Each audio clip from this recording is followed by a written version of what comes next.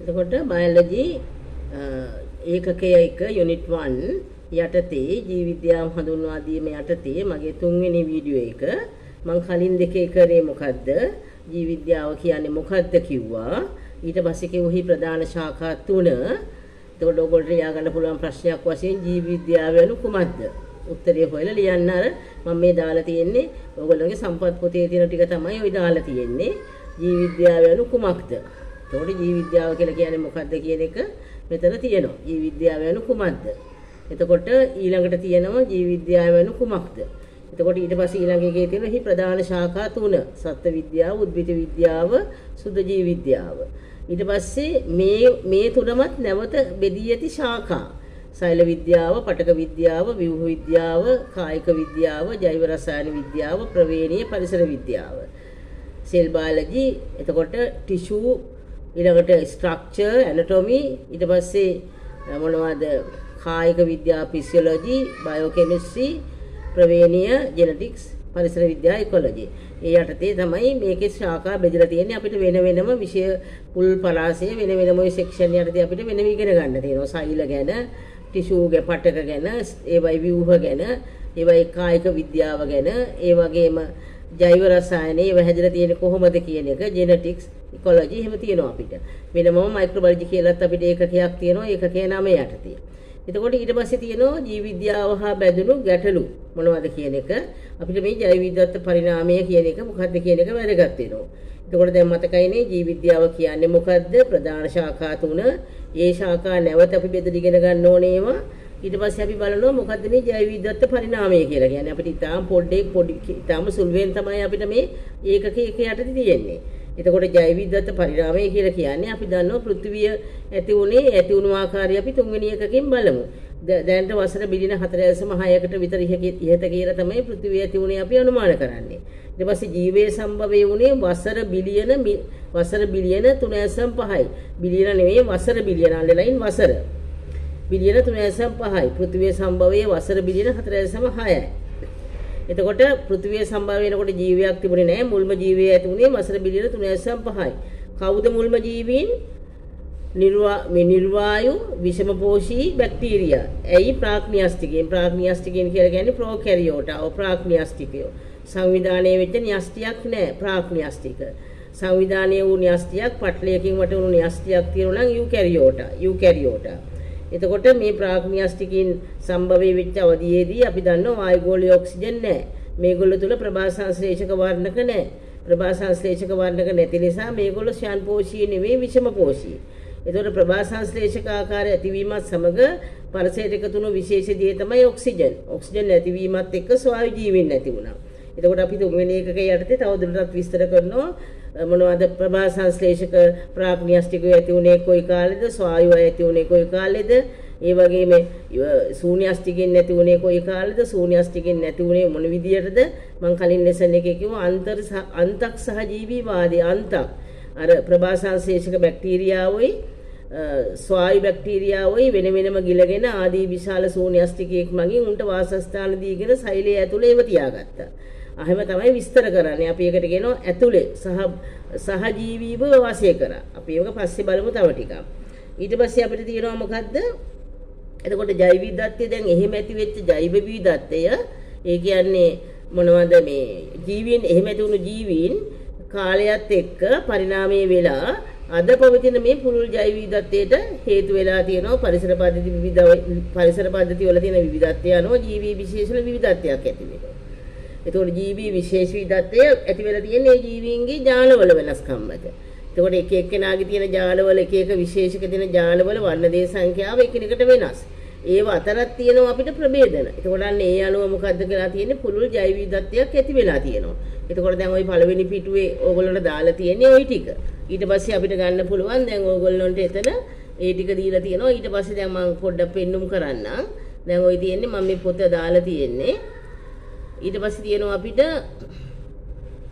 ওই ජීව විද්‍යාව හඳුන්වා දීම. ඒ පොත කියවන්න මේ ජාතික අධ්‍යාපන ආයතනයේ රිසෝස් බුක් එක සම්පත් පොත පළවෙනි එක.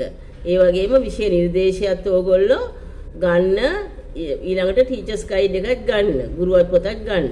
එතකොට දැන් මෙන්න මෙහෙම ඇති වෙච්ච ජීවීන් සලකනව විද්‍යාඥයෝ හරියට එකිනෙකා වෙනම අඳුනගෙන නැහැ විශේෂ මිලියන 10ක් 100ක් අතර විතර දැනට ලෝකේ ඉන්නවයි කියලා.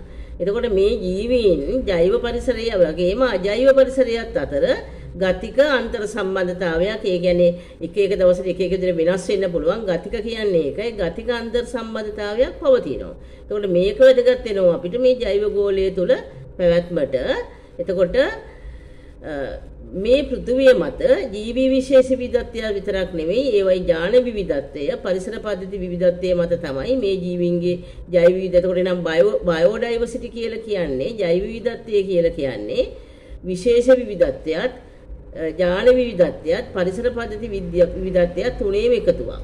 right. එතකොට ඊළඟට මම කිව්වා මිනිස් සිරුරහාහි ක්‍රියාකාරීත්වය අපි වෙනම පස්වෙනි ඒකකයේ යටතේ මිනිස් දේහවල ව්‍යුහ ඒවායේ කෘත්‍ය ඇතිවන රෝග මේ මේ මේ ව්‍යුහවල ආබාධ නිසා ඇතිවන රෝගී තත්වය ඒ කියන්නේ ඒ රෝගී තත්ත්වයන්ට හේතු අපි ඒව පස්වෙනි ඒකකයේ යටතේ ඉගෙන ගන්නවා.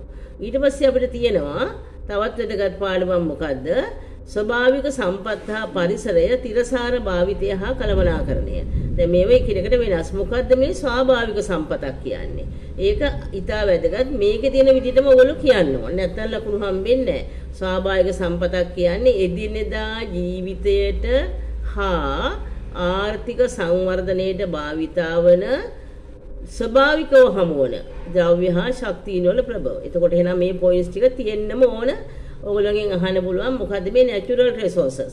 ස්වාභාවික සම්පතක් කියන්නේ ඉදිනදා ජීවිතයට හා ආර්ථික සංවර්ධනයට භාවිතා වන එක පළවෙනි පොයින්ට් එක.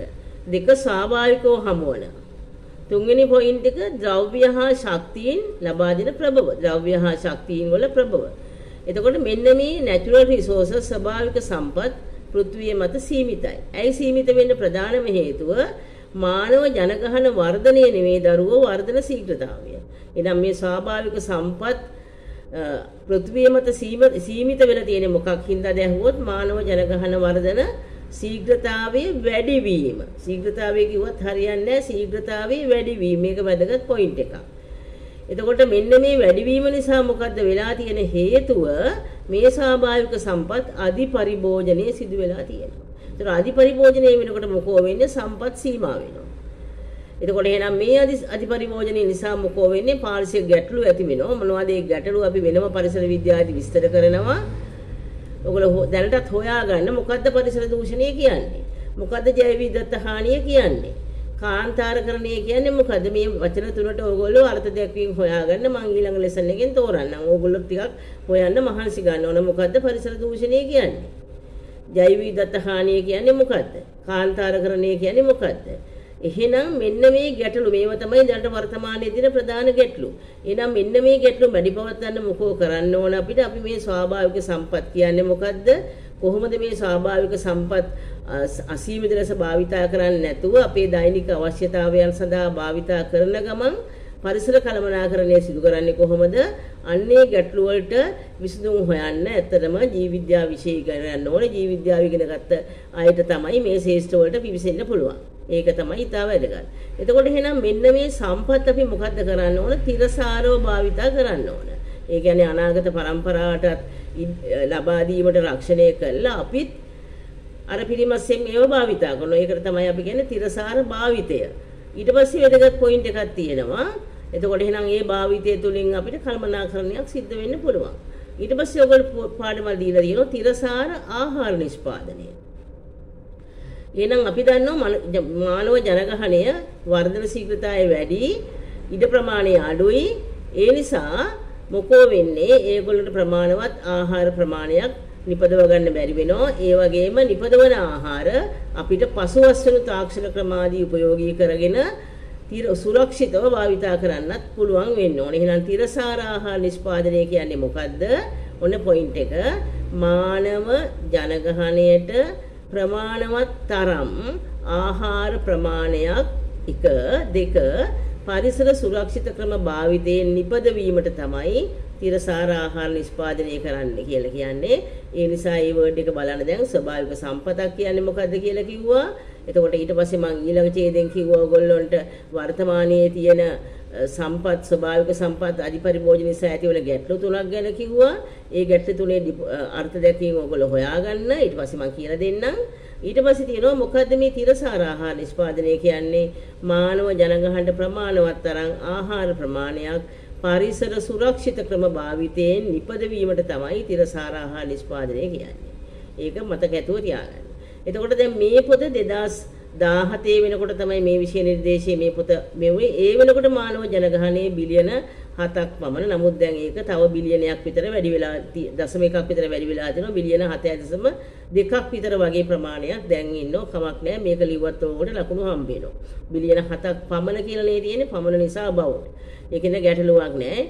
එම ප්‍රමාණය වසර 40කට ඒ කියන්නේ තවත් අවුරුදු 40කට ගියොත් මොකෝ වෙන්නේ මේක 14ක් වෙනවා. එතකොට දෙගුණ වෙයි කියලා බලාපොරොත්තු වෙන්නේ එහෙනම් දැන් තියෙන එක දෙගුණ වෙනෝ වසර 40කට අඩු කාලයකදී. ඒ කියන්නේ 2050 විතර වෙනකොට මේක දෙගුණ වෙයි කියලා තමයි බලාපොරොත්තු වෙන්නේ. එබැවින් මානවයාගේ පැවැත්ම නිසා මොකක්ද ඕන වෙන්නේ? දැන් මේ ජනගහනයට කන්නමදි, ආහාරමදි. එහෙනම් තිරසාර ආහාර නිෂ්පාදනයක් යොදා ගන්න ඕන. එහෙම නැතුණු ගොඩක් කට්ටිය මන්ද පෝෂණයට ලක් වෙලා निराහාරව මැරෙන්න ඕන. එතකොට එහෙනම් මොකද්ද මේ තිරසාර ආහාර නිෂ්පාදනය කියන්නේ ප්‍රමාණවත් තරම් මේ වැඩිවන ජනගහනයේ ප්‍රමාණවත් තරම් ආහාර ප්‍රමාණයක් පරිසරයට හානි කරන්නේ නැතුව පරිසර සුරක්ෂිත ක්‍රම භාවිතයෙන් නිපදවීමට තමයි අපි කියන්නේ තිරසාර ආහාර නිෂ්පාදනය කියලා. එතකොට එහෙනම් නිකම් මේ තිරසාර ආහාර නිෂ්පාදනය ඉංජිනේරුවෙකුට කරන්න බෑ. භෞතික විද්‍යාඥයෙකුට කරන්න බෑ. මේක කරන්න පුළුවන් ජීව විද්‍යාඥයෙකුට. එහෙම නැත්නම් කෘෂිකර්මයේ විෂය ආධාරපු කෙනෙකුට. ඒ නිසා තිරසාර ආහාර නිෂ්පාදනය සඳහා ජීව විද්‍යාත්මක දැනුම වැදගත් වෙනවා. ඒ නිසා ජීව විද්‍යාව ඉගෙන ගැනීම මෙන්න මේ වර්තමානයේ ඇතිවන ගැටලු විසඳන්න අපිට ඉතා වැදගත් වෙනවා. එහෙනම් මෙතෙන්දී මේ තිරසාර ආහාර නිෂ්පාදනය සඳහා ඔයගොල්ලන්ට දීලා තියෙනවා මෙන්න කරුණු තුනක් තව මේකට එකතු කරගන්න. ඉහළ පළදාවක් සහිත ශාක හා සත්ත්ව ප්‍රභේද නිපදවීම. වැඩි අස්වැන්නක් දෙන මෝග, වැඩි පළදාවක් දෙන මෝග අපි දන්නවා ඉස්සර කරවිල වගේ නෙවෙයි දැන් තියෙන කරවිල විශාලයි. ඒ වගේම වට්ටක්කා, පතවල, ඒ හැම එළවලු ප්‍රභේදයක් වගේම ශාක ඵල වර්ග, ගෙඩි වර්ග අපි පළතුරු වශයෙන් ගන්නේම විශාල කරලා තියෙනවා. ඇයි? විශාල වුණාම අස්වැන්න වැඩි. සත්ත්ව ප්‍රභේද වැඩි ප්‍රමාණයක් බිත්තර දෙන කිකිලියන්, කිරි එතකොට ඒව ප්‍රභේද නිපදවල තියෙනවා. ඒ වගේම අලුතෙන් ආසාදන රෝග ඇති වෙනවා. එහෙනම් රෝග වලට ප්‍රතිරෝධී ශාක හා සත්ත්ව ප්‍රභේද නිපදවීම.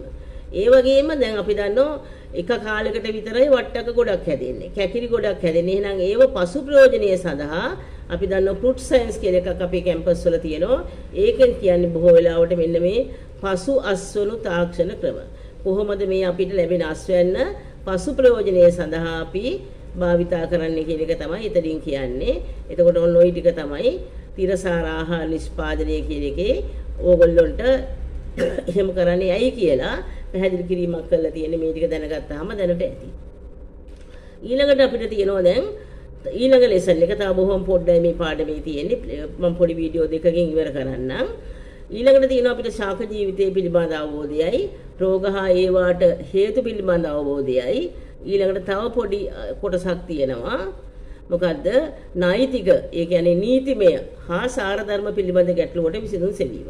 මම ඒක ඊළඟ වීඩියෝ එකෙන් කරන්නම්. එතකොට දැන් ඕගොල්ලොන්ට මම ජීව විද්‍යාව හඳුන්වා දීම. මේකත් එක්ක වීඩියෝ තුනක් කරලා තිනවා. තාම මම හිතන්නේ කාලය මම අරන් තියෙන්නේ සාමාන්‍යයෙන් විනාඩි 13යි 8යි 21යි 6යි 27ක විතර වෙලාවක් විතරයි අරන් තියෙන්නේ. පැයක් විතර වෙනකොට මම ඕගොල්ලෝ පැයක ලෙසන් එකදී ඕගොල්ලොන්ට ජීව විද්‍යාව පිළිබඳ අදහස